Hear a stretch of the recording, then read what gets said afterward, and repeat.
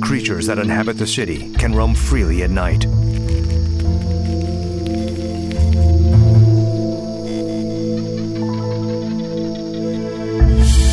This spider stops this lizard in its tracks.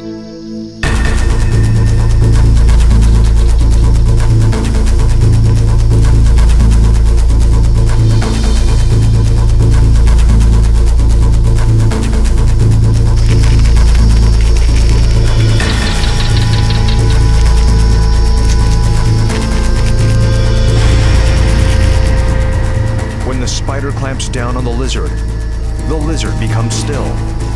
It has caught its prey. It drags the lizard, which is as big as itself, to its den.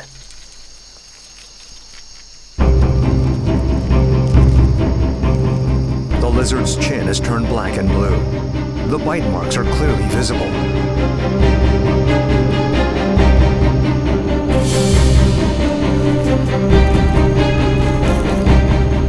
The Sydney funnel-web spider strikes a threatening pose. It has two powerful fangs that it uses to hunt with. It has a spinneret on its abdomen. The Sydney funnel-web spider is known as the most dangerous spider in the world.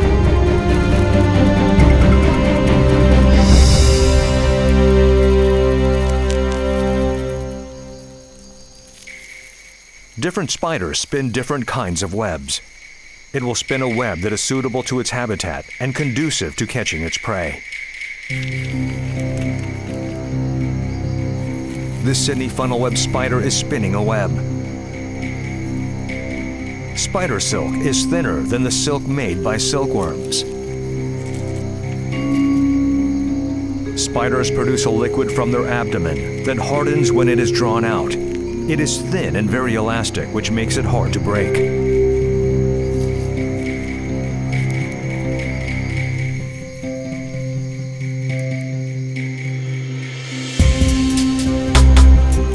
It digs a hole in the ground and covers it with a web.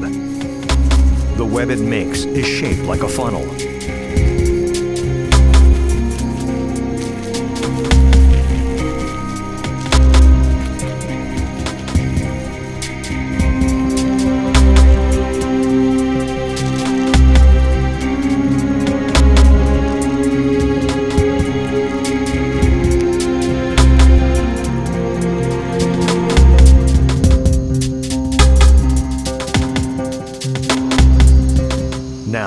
Spider will wait for an unsuspecting creature to pass over the opening. This spider likes damp and dark places. It will make several entrances that are connected to its tunnel.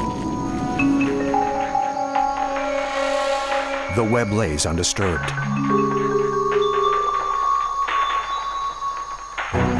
When the web trembles, it's a sign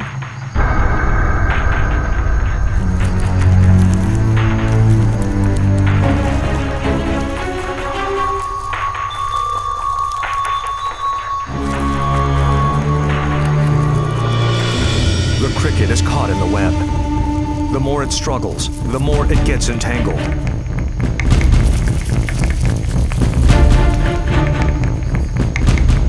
Its fate is sealed. However, the cautious hunter moves quickly just in case the prey is able to get away. It grabs the cricket, but every prey will struggle vigorously to free itself.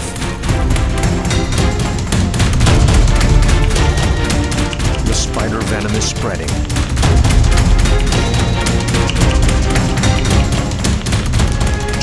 The Sydney funnel web spider sinks its fangs into the cricket once more.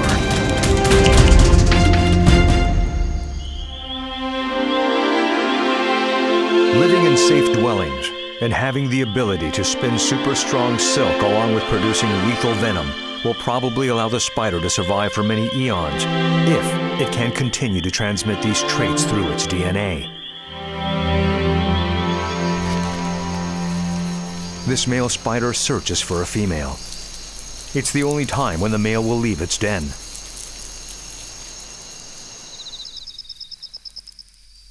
Most Australians live in Sydney. So spiders will cross paths with humans in the course of their lives. The first time the Sydney funnel web spider was discovered, it was found in a house garden instead of in the wild. How much longer does it need to travel in order to find a female? This spider has lost its way in a man-made city. It stumbles into the wrong place. Driven by its mating instincts, it crawls into a sneaker, which is similar to a spider den.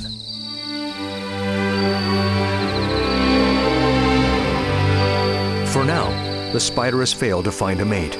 Does it still have a chance to mate?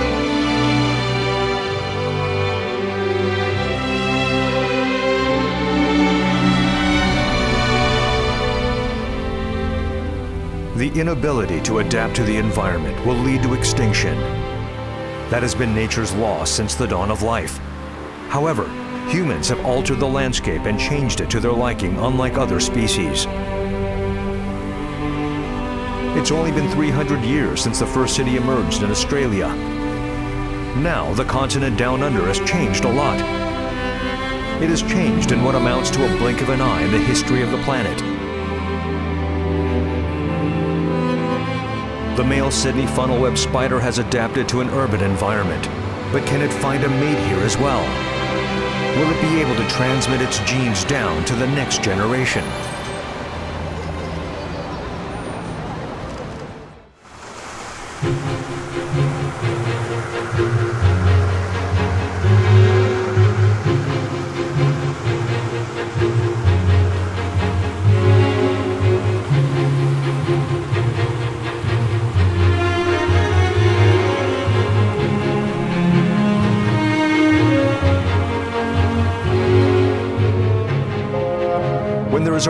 Shift in the environment, chaos will take place in the ecosystem.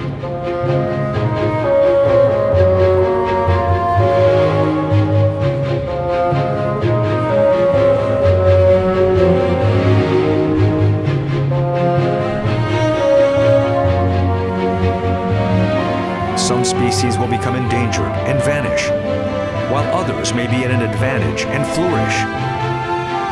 Then there are the ones that will adapt to this new environment and evolve into something entirely different than what it used to look like. This is evolution.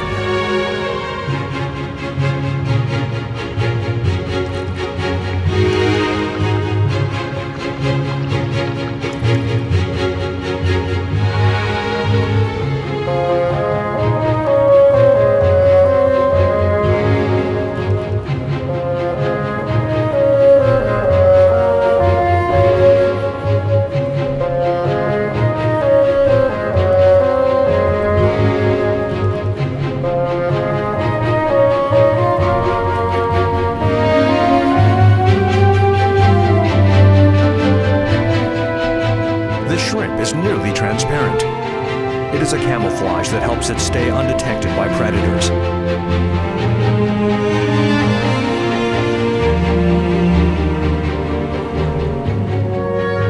There are quite a lot of unique creatures in the ocean. This sand-like creature is breathing and uses camouflage to hunt.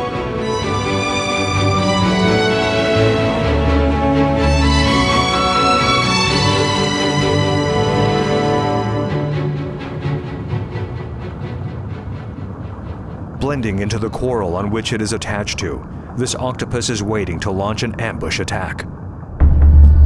It trains its eye on a shrimp.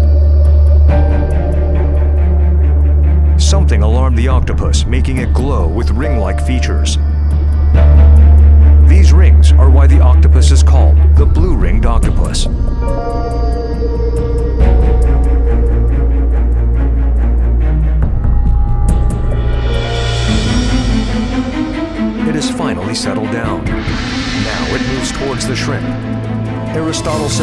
Octopuses were smart animals.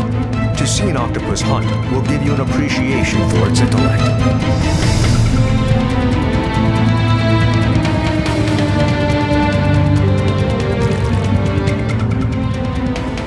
The blue-ringed octopus' first line of offense is its arms.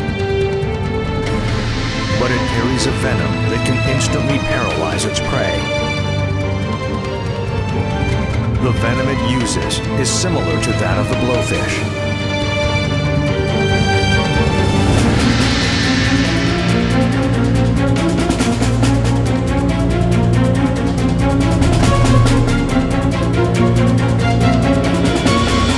It has short legs. Even when extended, they are only about 20 centimeters in length. Despite these shortcomings, it will not give up easily on hunting the shrimp.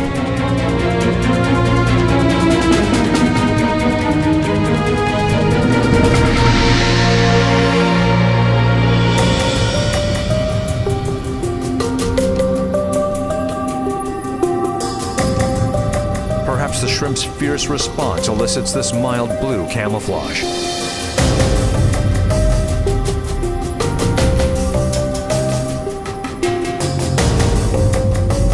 It can propel itself forward by pushing water through its tube.